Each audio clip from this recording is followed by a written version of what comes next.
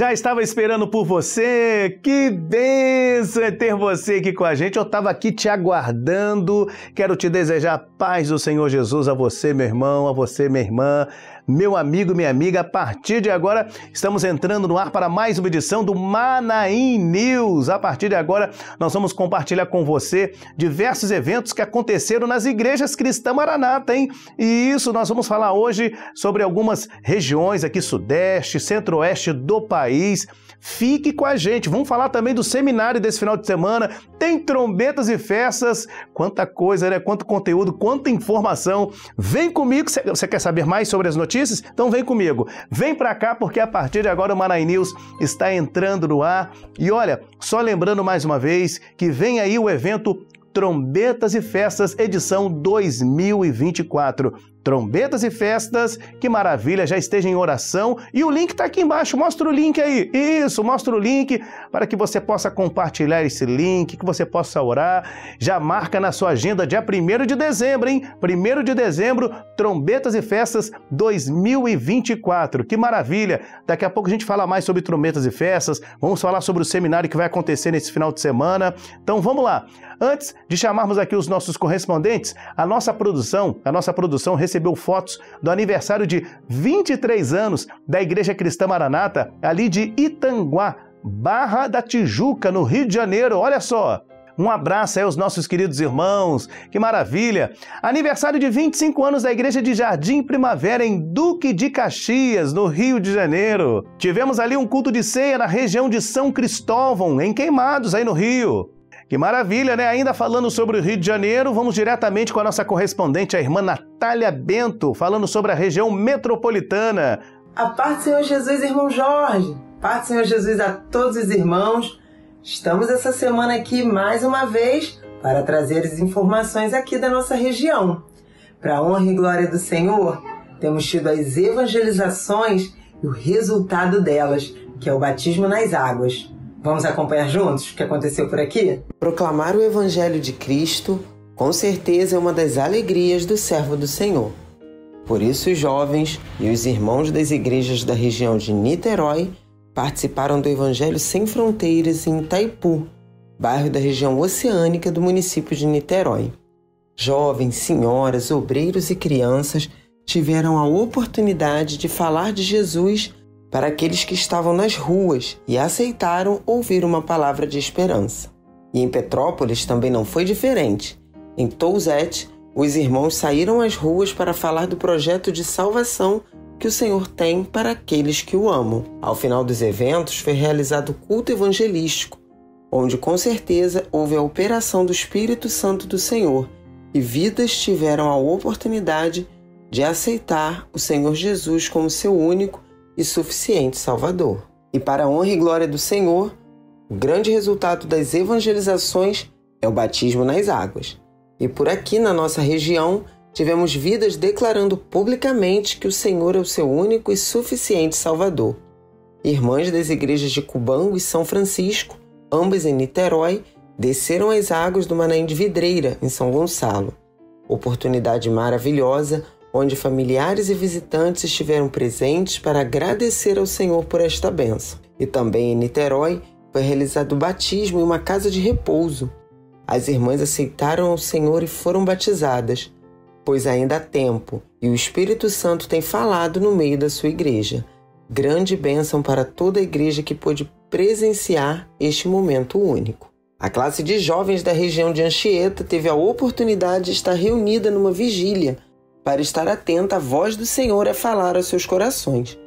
Louvores e adoração ao nosso Deus fizeram com que os participantes tivessem a oportunidade de ouvir a voz do Espírito Santo a falar aos seus corações. Nosso Deus tem se revelado aos que o buscam e o seu povo se alegra em ouvir a sua voz. Foi realizada uma reunião geral da classe de senhoras da região da Zona Sul do Rio de Janeiro. Oportunidade maravilhosa para que as irmãs estivessem reunidas para louvar e buscar a face do Senhor. E assim, o Senhor tem se revelado no meio da sua igreja. O Espírito Santo agiu e operou no meio do seu povo. Glória a Jesus. É isso, meus irmãos. Temos vivido bênçãos sem medidas derramadas do nosso Deus. Por isso voltaremos na semana que vem com mais informações aqui da nossa região metropolitana. A paz do Senhor Jesus a todos. É com você, irmão Jorge. Até semana que vem. Que maravilha, né? Aqui você fica sempre bem informado no Maranhão News. Mais notícias e agora na região da Baixada Fluminense com o nosso companheiro Hilton Medeiros. Hilton, ô Hilton, já tá pronto aí? Olá, irmão Jorge. A paz do Senhor Jesus a todos os nossos irmãos, tanto do Brasil como no exterior, que nos acompanham no Maranhão News. Convidamos a todos a assistirem as bênçãos que vivemos nesta semana aqui na Baixada Fluminense. Começamos nosso boletim semanal com esta matéria mostrando o batismo que ocorreu na igreja de Parque Estrela em Bariê, no município de Duque de Caxias, fruto de um trabalho evangelístico. Uma jovem desceu às águas e o Senhor a batizou com o Espírito Santo Outros batismos já foram marcados para o mês de dezembro. Glória a Jesus! Partimos agora para outro batismo realizado na ICM Queimado e Central, com os irmãos da região de Anchieta. Um momento especial na economia de Deus. Vidas fizeram a melhor escolha, que é servir ao Senhor. Bendito seja Deus! Estamos agora uma vigília especial de ceia na ICM Parque Araruama com o levantamento de uma irmã para compor o trabalho de senhoras, em um momento de comunhão e alegria para a igreja. Louvado seja o nome do Senhor. Finalizamos essa matéria mostrando aos nossos irmãos o culto de ceia que ocorreu na ICM de Vilar dos Teles, em um momento de comunhão da igreja, que pôde se assentar à mesa com o Mestre Jesus por todas as bênçãos que ele nos concedeu no trabalho do Evangelho sem fronteiras. Foi um momento de glorificação a Deus pelas vitórias concedidas neste trabalho de evangelização.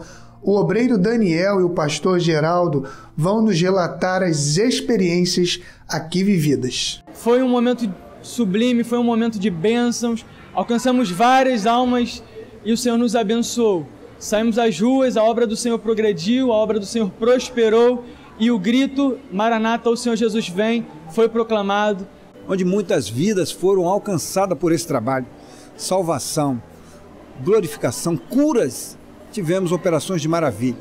E assim nós queremos deixar como registro da obra que o Senhor tem realizado nessa última hora. Irmão Jorge, ficamos por aqui Queremos agradecer ainda à Rádio Manaim pelo espaço e carinho que assim nos concede. E se Deus quiser, estaremos de volta semana que vem com mais notícias aqui da nossa região. Paz do Senhor Jesus a todos. Você está assistindo aqui o Manaí News, que maravilha, notícias aqui, olha, sobre a região sudeste, falando sobre o Rio de Janeiro, né? Já já, notícias de São Paulo, segura aí. Mas agora eu quero falar com você sobre o seminário desse final de semana. Nesse final de semana tem seminário para professores, pais e senhoras, hein? Final de semana tem seminário, tem o nosso Manaim. Você vai participar do seminário desse final de semana? Esteja em oração do seminário. Você que está inscrito, que Deus abençoe, que você viva aí uma experiência com o Senhor nesse seminário. Então esteja em oração pelo seminário desse final de semana. Agora sim, vamos para São Paulo. Vamos diretamente com a nossa correspondente, a Tamires Campos. Tamires, é com você agora aí. A paz do Senhor Jesus Jorge, a paz do Senhor irmãos. Estamos em mais uma edição do Manaí News de hoje compartilhando as experiências vividas no estado de São Paulo. Nós vamos começar falando da região da Grande São Paulo. Na tarde deste sábado, aconteceu um mini seminário do Grupo de Louvor no bairro Morada do Sol, em Indaiatuba. O evento reuniu 13 igrejas do polo de Indaiatuba e Sorocaba, com 188 irmãos presentes em um momento especial de comunhão com o Senhor. E ainda dois irmãos foram levantados para o trabalho de diaconato, uma grande festa. Ainda queremos compartilhar com os irmãos o encontro com todos os grupos de louvor da área norte que ocorreu na ICM Lausanne. Confira. Tivemos uma palavra inicial, onde falamos sobre a importância do louvor na vida da igreja. Depois um momento de ensaio, com instrumentos, vozes. E finalizamos agora com o encerramento, alguns testemunhos também. Foi uma tarde muito proveitosa, onde o Senhor nos visitou, houve a operação do Espírito Santo, dons espirituais, uma grande bênção hoje aqui na igreja de Lausanne, com todos os grupos de louvor da área norte. Agora falaremos da região Santos, onde foi realizado o culto de abertura do projeto Aprendiz na ICM de Vila Morim. Crianças, jovens e adultos estão aprendendo instrumentos para o louvor da casa do Senhor. Isso tem sido uma grande bênção. As aulas são ministradas por irmãos voluntários e os cursos são de violão, teclado e sax. Glória a Deus. Glória a Jesus. Esses foram os acontecimentos do Estado de São Paulo para a honra e glória do nome do Senhor. Nós voltamos semana que vem. A todos a paz do Senhor Jesus. E agora é com você, Jorge. Agradecemos as informações. Agora, notícias atualizadas do Centro-Oeste. Atenção, notícias do Centro-Oeste. Vamos diretamente com a nossa irmã Rayane Biezek. Saudações a você que nos acompanha no Money News. Em Brasília, Distrito Federal, foi realizado também batismo e uma reunião com obreiros. O irmão Felipe irá nos contar com mais detalhes as maravilhas que o Senhor tem operado ali em Brasília. Vamos começar pela igreja de Unai. Unai que apesar de ficar em Minas Gerais, é assistido por Brasília devido à proximidade. Ali teve um batismo, à noite teve ceia, foi uma grande alegria ali naquela igreja. Nós tivemos também um batismo da igreja da Asa Norte, onde muitos familiares compareceram. A igreja ficou feliz, pois o rebanho do Senhor tem prosperado ali naquele lugar. Na igreja da Asa Sul, nós tivemos ali dois eventos.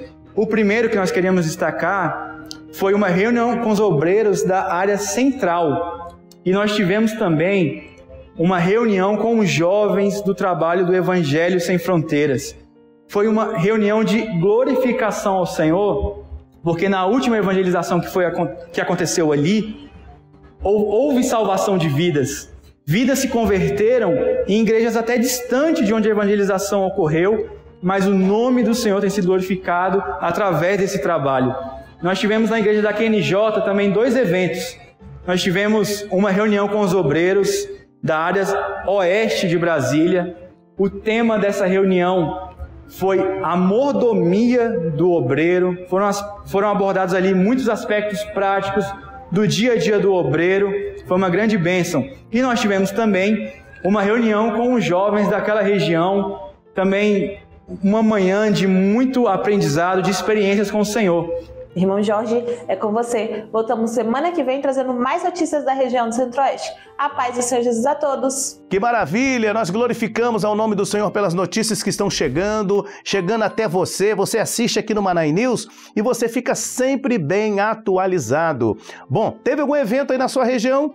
Envie aqui para a nossa produção. Olha o e-mail aí, manainews@radiomanaim.com www.ecc.br e que Deus abençoe grandemente a sua vida. Estamos aguardando, aguardando o evento da sua região aqui para poder passar aqui no Manaí News. E olha, vem aí, hein? Vem aí Trombetas e Festas, é isso mesmo, Trombetas e Festas edição 2024. Olha aí o nosso link, compartilhe, esteja orando. Ó, já tem data, hein? Dia 1 de dezembro, Trombetas e Festas edição 2024. Deus te abençoe, a paz do Senhor Jesus.